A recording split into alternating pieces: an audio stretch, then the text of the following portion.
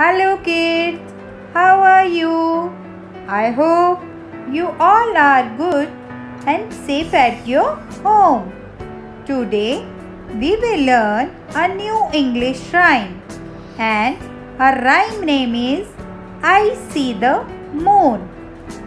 When I look out of my window at night, I see something bright and beautiful.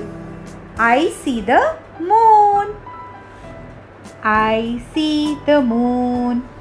I see the moon. And moon sees me. And moon sees me. God bless the moon. God bless the moon. And God bless me. And God bless me. Repeat it again.